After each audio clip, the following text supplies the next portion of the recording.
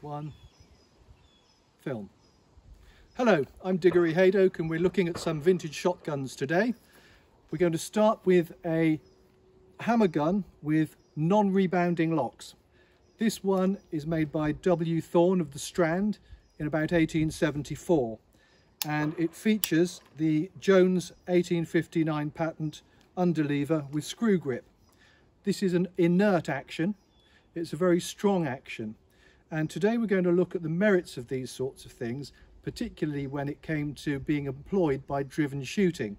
And it helps us to understand the drive in the gun making industry at the time to improve the firing cycle of the sorts of guns that sportsmen were buying. This one looks very neat and compact. It's a very high quality gun. The opening mechanism requires that you pull back the hammers to half cock before you load the gun.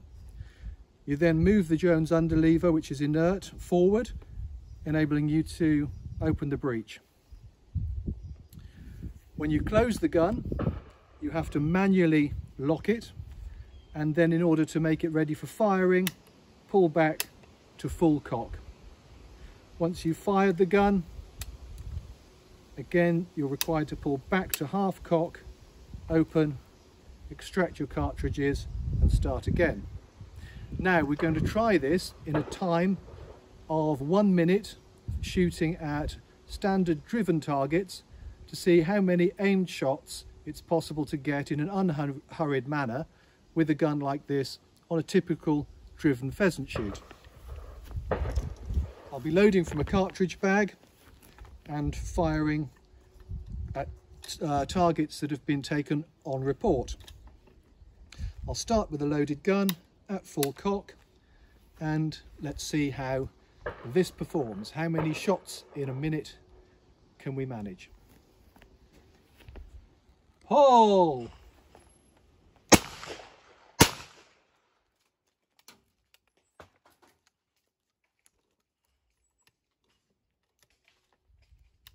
Pull!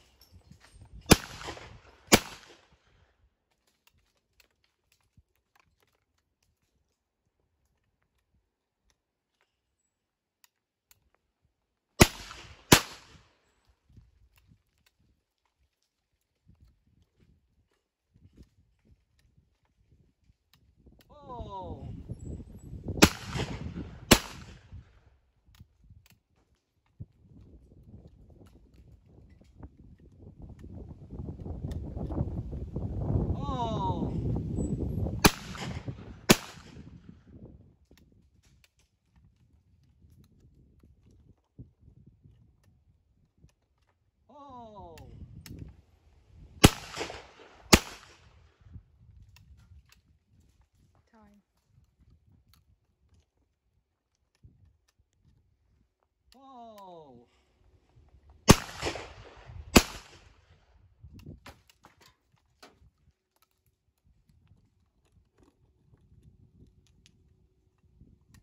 How are we doing for the minute, Nat? So. Oh.